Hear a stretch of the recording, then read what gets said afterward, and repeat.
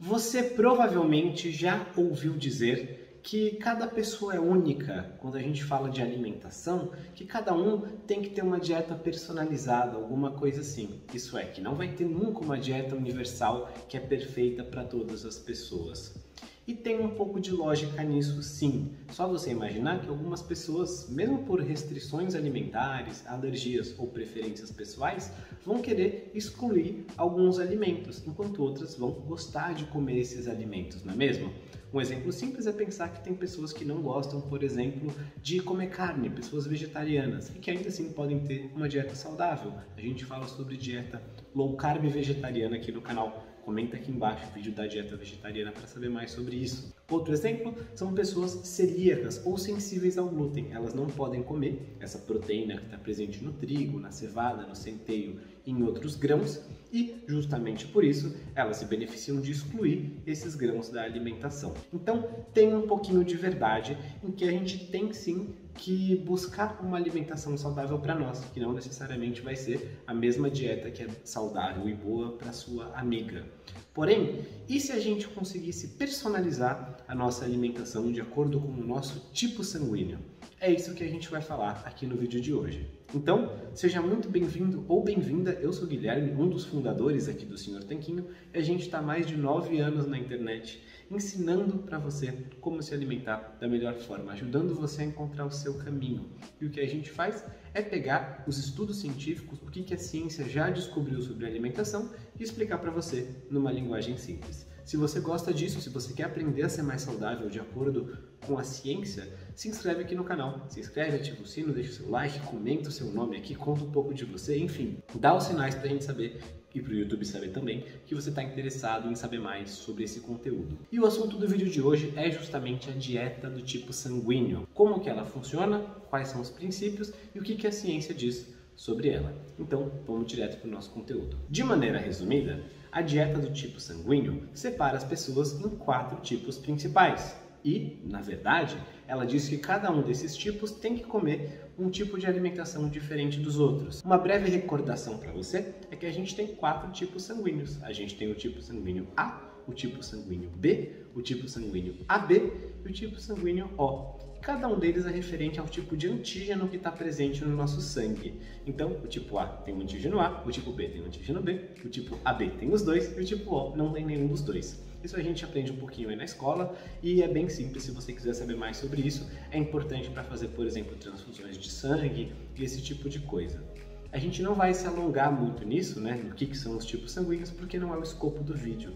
Talvez você saiba o seu tipo sanguíneo, comenta aqui embaixo se você souber. E essa dieta diz que justamente porque o sangue de cada uma das pessoas dos quatro tipos é diferente, elas vão lidar diferentes com diferentes alimentos. Então, um dos pontos que essa estratégia preconiza é que, assim, pessoas que têm tipo sanguíneo O vão lidar bem com peixes e carne bovina, enquanto pessoas do tipo sanguíneo A não vão lidar tão bem com isso. E as pessoas do tipo sanguíneo B vão lidar bem com carnes de coelho e de ovelhas. O que não é tão prático assim, né? Vamos combinar que a gente acaba comendo menos na prática, né? Coelho e ovelha do que carne vermelha e peixe. Mas será que tem um fundamento científico?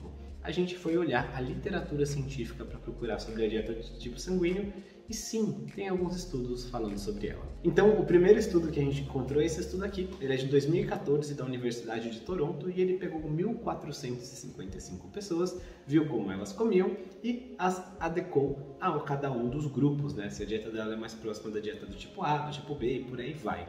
Depois, o que, que eles fizeram?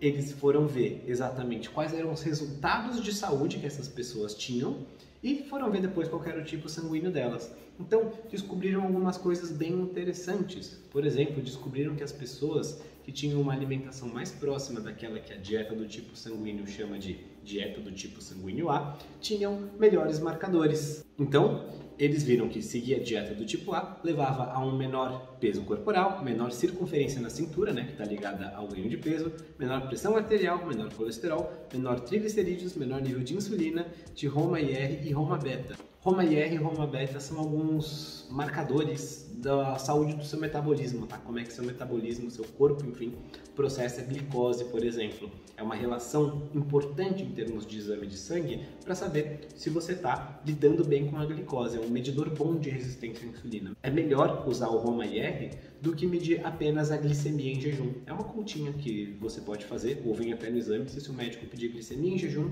e insulina em jejum. Se você quer saber mais sobre exames de sangue, comenta aqui embaixo que eu gravei, eu e o Rony gravamos com um médico um guia passo a passo gratuito para você sobre como interpretar seus exames de sangue. E a gente interpreta os meus exames ao vivo. Então você vai entender o que, que olhar, o que, que não olhar, quais são bons valores de referência, onde que você não deve prestar atenção nisso e muito mais. Comenta aqui embaixo. Podcast de exame de sangue para saber mais sobre isso. A dieta do tipo AB gerou resultados parecidos também, tirando a circunferência da cintura e o IMC, né, o BMI, que é o IMC, tem a ver com a relação entre peso e altura das pessoas. Então ela também gerou alguns desfechos de saúde interessantes. E a dieta do tipo O mostrou que a pessoa consegue abaixar os triglicerídeos seguindo essa dieta. Né? Na verdade, que as pessoas que seguiam esse estilo alimentar tinham triglicerídeos menores.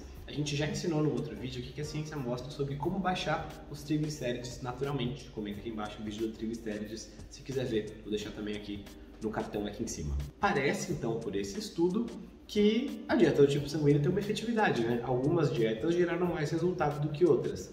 E aí é que tá o pulo do gato. Por quê? Porque foram fazer o teste de sangue de cada uma das pessoas e descobriram que essas dietas não tinham nada a ver com o sangue da pessoa. Então, se você seguisse a dieta do tipo A, por exemplo, você tinha desfechos de saúde melhores, mesmo se o seu tipo sanguíneo não fosse A. Se você tivesse o tipo sanguíneo O e seguisse a do tipo A, você tinha, na média, estatisticamente falando, mais chance de ser saudável do que seguindo a do tipo O. Então, seguir a dieta do seu tipo sanguíneo é uma furada, porque ela não leva a desfechos de saúde melhores. E é isso que os autores concluem aqui no estudo. A adesão a alguns tipos de dieta do tipo sanguíneo está associada com efeitos favoráveis em alguns fatores de risco cardiometabólicos, mas essas associações foram independentes da tipificação do sangue genotípica do indivíduo, né? Então, o, esses achados não dão suporte à teoria da dieta do tipo sanguíneo. Então, o que esse primeiro estudo mostrou? Ele mostrou que, basicamente, você não precisa comer de acordo com a dieta do seu tipo sanguíneo para você ter bons resultados de saúde. Mas, se você tem um pouco de noção de desenho de estudos, de lógica, do processo científico em si, você vai perceber que esse estudo ele só pegou e olhou as pessoas, ele observou o que estava acontecendo. Quando a gente quer estabelecer causa e efeito na ciência, a gente precisa desenhar um experimento. Isso é, se a gente tem uma teoria, a gente tem que conseguir prever o que, que vai acontecer numa determinada condição e você pode verificar essa condição no experimento. Então, por que a gente tem a teoria da gravidade? A gente sabe que se eu pegar um objeto aqui, por exemplo, esse caderninho aqui, eu sei que se eu soltar ele, ele vai cair. A teoria da gravidade diz isso, né? que tem a atração dos corpos proporcional à massa, à distância, ao constante de atração universal e por aí vai. Então eu consigo desenhar um experimento, falar se eu soltar, isso vai cair. E aqui está, está é, de acordo com a teoria. A gente faz experimentos nisso. E é nesse sentido que estudos chamados de ensaios clínicos randomizados são mais poderosos, porque eles eliminam alguns vieses estatísticos para você poder saber com mais certeza o que está acontecendo. Tá bom, para que, que todo esse preâmbulo? Porque existe um tipo de estudo mais poderoso do que esse que foi feito, né? Que eu mostrei para você agora, que é de 2014. Ele foi feito em 2018, foi um aprofundamento desse estudo anterior só que dessa vez com um outro desenho. Esse estudo de 2018 é um ensaio clínico randomizado. E lembra que eu falei que a gente pegou 1.455 pessoas e observou elas no primeiro estudo? Agora, para o segundo, pegaram 973 dessas pessoas e, além de olhar o que elas estavam fazendo, separaram em grupos, nos quais mandaram elas comer de acordo com um certo tipo. Então você separou agora as pessoas, elas não comiam só o que elas queriam, ou a gente olhou o que elas estavam comendo e tentou tirar conclusões. A gente falou para elas mudarem o que elas vão comer e olhou seis meses depois o que aconteceu. Então, como é que foi feito isso? Separaram as pessoas, né? sortearam as pessoas entre grupos e falaram para elas seguirem cada um dos tipos de dieta. e aí depois de seis meses foram ver o que aconteceu. E novamente, a conclusão que foi obtida foi a seguinte: depois de seis meses, as pessoas que seguiram dietas mais próximas do tipo A ou do tipo B, elas tiveram melhores resultados em termos de diminuição da circunferência abdominal e do IMC, ou seja, elas tiveram mais resultados na perda de peso. Só que, qual que é o pulo do gato novamente? É o mesmo pulo do mesmo gato, porque fazer o cara crachar da dieta com o tipo sanguíneo de cada um mostrou que não existe nenhuma relação entre essas duas variáveis, né? Então, a conclusão dos autores segue a mesma linha da anterior. O seu tipo sanguíneo não modifica nenhuma associação entre as dietas do tipo sanguíneo e os marcadores de doença cardiometabólica em adultos acima do peso, sugerindo que a teoria por trás dessa dieta não é válida. Então é isso. Esse estudo agora, um experimento, serviu para fechar o caixão de vez dessa teoria maluca. E talvez você esteja se perguntando, tá bom, mas então o que, que eu como para emagrecer? Já entendi que não depende do meu tipo sanguíneo, né? Que não tem nenhum fundamento científico por trás disso. Mas qual que é essa dieta que emagrece mais que as outras? De acordo com tudo que a evidência científica mostra, a gente tem alguns sinais claros do que fazer para emagrecer. Então, a gente sabe, por exemplo, que aumentar a ingestão de proteína de uma dieta ajuda você a perder peso. Por exemplo, tem um outro vídeo aqui que eu explico como que o único ajuste na quantidade de proteína da alimentação das pessoas ajudou elas a emagrecer 4,9 quilos em 12 semanas. Isso é, elas perderam quase 5 quilos em menos de 3 meses só mudando a quantidade de proteína, sem ter que contar caloria, sem ter que passar fome. A gente também sabe que limitar o consumo de carboidratos refinados ajuda nisso também.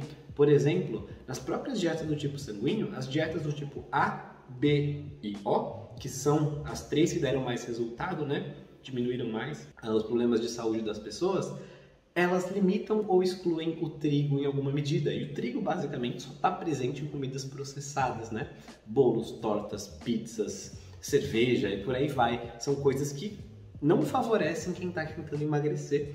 E você ter alimentos menos processados na sua alimentação por exemplo, comer mais comida de verdade, vai te ajudar a perder peso também. Eu expliquei o porquê disso em um outro vídeo aqui, se quiser saber digita no Google aqui, ou no YouTube, né? Senhor Tanquinho Comida de Verdade, que você vai encontrar sobre isso. Se quiser saber sobre algum outro alimento, por exemplo, vinho, Senhor Tanquinho Vinho, e digita aqui que você vai encontrar um vídeo sobre isso. Digita Senhor Tanquinho mais o tema que você vai encontrar um vídeo. E eu mencionei o vinho por quê? Porque, por exemplo, tem um outro estudo científico que mostrou as pessoas que seguiam uma dieta cetogênica mediterrânea e elas perderam aí mais de 10 quilos em menos de 3 meses comendo peixe e tomando vinho todo dia. Vinho todo dia e emagrecendo. Sabe, a gente tem a ciência por trás disso. Não estou dizendo que você tem que tomar vinho todo dia para emagrecer. Estou dizendo que apesar disso, quando você faz uma intervenção alimentar poderosa, você consegue resultados. E o melhor jeito de você conseguir resultados não é se baseando num livro popular sobre tipo sanguíneo, nem em pseudociência, nem nada do tipo. É seguindo o que a ciência já mostrou que é efetivo.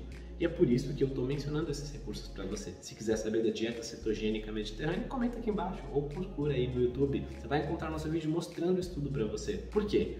Porque o que a gente fala aqui no canal não são coisas da nossa cabeça. Eu ia adorar pegar como crédito a ideia de que eu desbanquei a dieta do tipo sanguíneo, mas não é uma coisa minha. Eu só peguei a ciência que já existe e eu expliquei para você. E sabe como eu posso te ajudar mais de perto? Os nossos programas, nossos livros, cursos, mentorias e treinamentos a gente faz exatamente isso. A gente pega a melhor ciência e orienta você como aplicar na sua vida.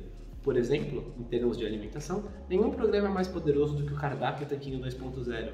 Ele é um programa 100% baseado em ciência, que já teve mais de 12 mil alunos com resultados incríveis e te ajuda a emagrecer sem passar fome, sem ter que contar calorias, sem ter que contar carboidratos, sem ter que comer em determinados horários comendo comida gostosa. Por quê? Porque a gente pega o melhor que tem na ciência e te mostra como aplicar do jeito prático. Se você quiser saber mais sobre o cardápio Tanquinho, eu vou deixar no primeiro link aqui da descrição e também no primeiro comentário. Vai ser um prazer ter você lá com a gente nesse programa super poderoso. E se quiser, veja mais sobre conteúdos científicos aqui no nosso canal. Eu deixei um outro vídeo aqui do lado que você vai gostar muito. E também tem uma foto minha do Rony aqui na tela aparecendo para você se inscrever e ver mais vídeos. Você vai gostar de aprender e a gente vai gostar de ter você aqui com a gente. Já tinha caído nessa baboseira do tipo sanguíneo? Comenta aqui embaixo. Vai ser um prazer continuar essa conversa com você nos comentários. Forte abraço do Sr. Tanquinho.